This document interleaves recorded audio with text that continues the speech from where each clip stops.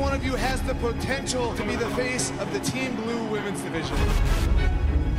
At Backlash, there will be the first ever women's six-pack challenge to determine The first ever SmackDown Women's Champion.